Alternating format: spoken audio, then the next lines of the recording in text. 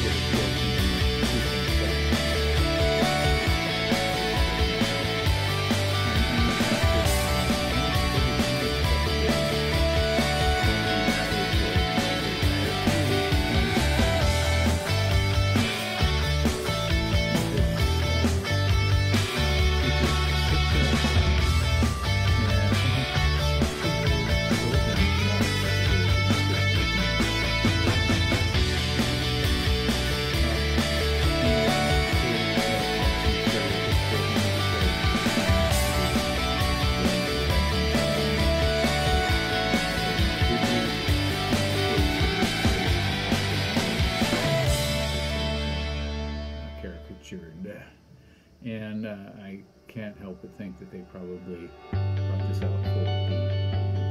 Uh, it was released in November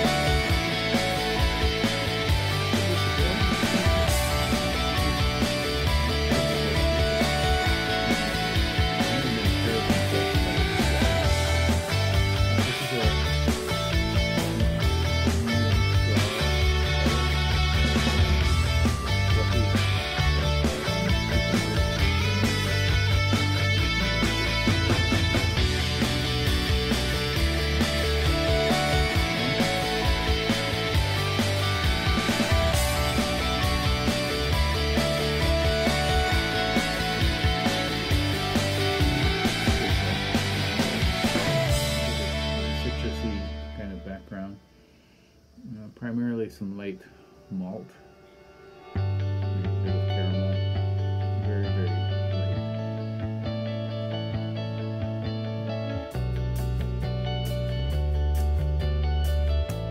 Flavor is also very light.